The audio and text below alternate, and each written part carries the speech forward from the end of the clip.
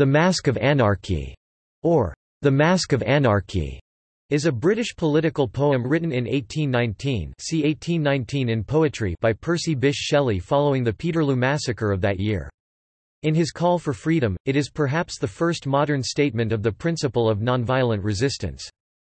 The poem was not published during Shelley's lifetime and did not appear in print until 1832 see 1832 in Poetry, when published by Edward Moxon in London with a preface by Leigh Hunt.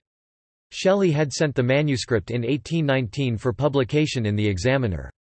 Leigh Hunt withheld it from publication because he thought that the public at large had not become sufficiently discerning to do justice to the sincerity and kind-heartedness of the spirit that walked in this flaming robe of verse."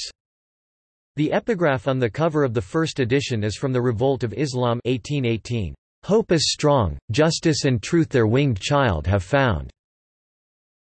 Use of masque and mask is discussed by Morton Paley. Shelley used mask in the manuscript but the first edition uses masque in the title.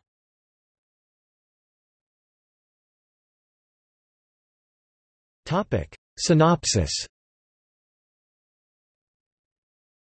Shelley begins his poem, written on the occasion of the Peterloo Massacre, Manchester 1819, with the powerful images of the unjust forms of authority of his time, God, and King, and Law, and then imagines the stirrings of a radically new form of social action. Let a great assembly be, of the fearless, of the free.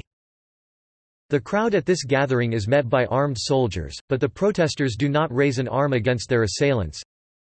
Stand ye calm and resolute, like a forest close and mute, with folded arms and looks which are weapons of unvanquished war, and if then the tyrants dare, let them ride among you there. Slash, and stab, and maim and hew. What they like, that let them do, with folded arms and steady eyes. And little fear, and less surprise. Look upon them as they slay.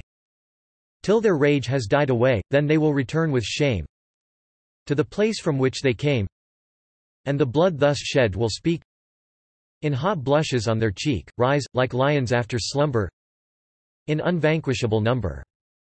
Shake your chains to earth like dew, which in sleep had fallen on you. Ye are many, they are few. Shelley elaborates on the psychological consequences of violence met with pacifism. The guilty soldiers he says, will return shamefully to society, where Blood thus shed will speak, in hot blushes on their cheek. Women will point out the murderers on the streets, their former friends will shun them, and honorable soldiers will turn away from those responsible for the massacre." Ashamed of such base company. A version was taken up by Henry David Thoreau in his essay Civil Disobedience, and later by Mohandas Karamchand Gandhi in his doctrine of satyagraha. Gandhi's passive resistance was influenced and inspired by Shelley's nonviolence in protest and political action. It is known that Gandhi would often quote Shelley's the Mask of Anarchy to vast audiences during the campaign for a free India. The poem mentions several members of Lord Liverpool's government by name, the Foreign Secretary, Castlereagh, who appears as a mask worn by murder, the Home Secretary, Lord Sidmouth, whose guise is taken by hypocrisy, and the Lord Chancellor, Lord Eldon, whose ermine gown is worn by fraud. Led by anarchy, a skeleton with a crown, they try to take over England, but are slain by a mysterious armoured figure who arises from a mist. The maiden hope, revived, then calls to the people of England.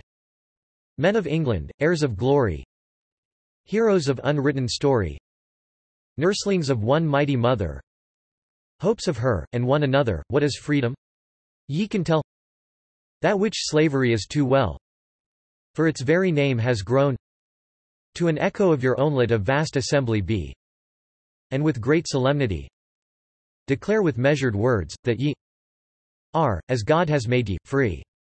The old laws of England, they whose reverend heads with age are grey, children of a wiser day, and whose solemn voice must be thine own echo, liberty, rise, like lions after slumber, in unvanquishable number. Shake your chains to earth, like dew, which in sleep had fallen on you. Ye are many, they are few. Topic: Literary criticism. Political authors and campaigners such as Richard Holmes and Paul Foot, among others, describe it as the greatest political poem ever written in English. In his book An Encyclopedia of Pacifism, Aldous Huxley noted the poem's exhortation to the English to resist assault without fighting back, stating, the method of resistance inculcated in by Shelley in The Mask of Anarchy is the method of non-violence. Author, educator, and activist Howard Zinn refers to the poem in A People's History of the United States. In a subsequent interview, he underscored the power of the poem, suggesting, "...what a remarkable affirmation of the power of people who seem to have no power. Ye are many, they are few. It has always seemed to me that poetry, music, literature, contribute very special power." In particular, Zinn uses, "...the mask of anarchy." as an example of literature that members of the American labor movement would read to other workers to inform and educate them.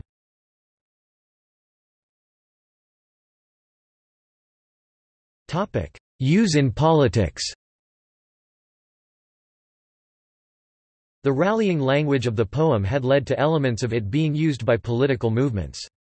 It was recited by students at the Tiananmen Square protests of 1989 and by protesters in Tahrir Square during the Egyptian Revolution of 2011. The phrase, "'like lions after slumber, in unvanquishable number' from the poem is used as a motto, slogan by the International Socialist Organization in their organ.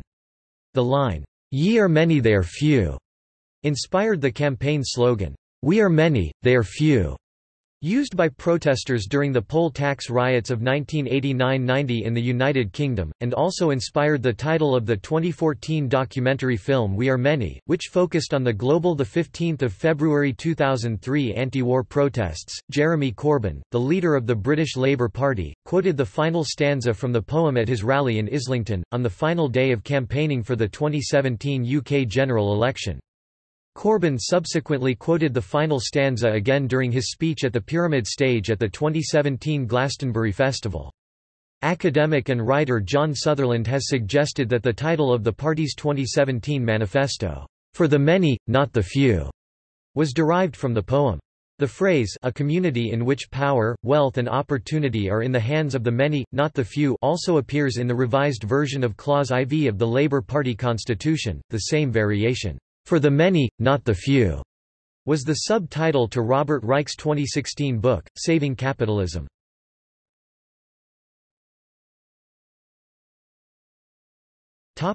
In popular culture Lines from the poem are quoted on the sleeve of the Jam's 1980 album Sound Effects. Lines from the poem inspired and are featured in the John Vanderslice song Pale Horse. The poem's lines, "'Like lions after slumber, in unvanquishable number' are quoted by the title and closing lines of the Scritti Politti song, "'Lions After Slumber'". They are also referenced in the opening lines of the song, "'Blaze' by Strike Anywhere. The chorus of the song, "'Robin Hood' by the Mekons contains the lines, "'Rise like lions, shake your chains, babe. Ye are many, they are few. In the episode of Heartbeat titled, The Heart of a Man, the character played by Jeff Hordley, Stan Keaton, quotes the last verse in its entirety whilst standing outside the Aidensfield Arms with his fellow sacked workers.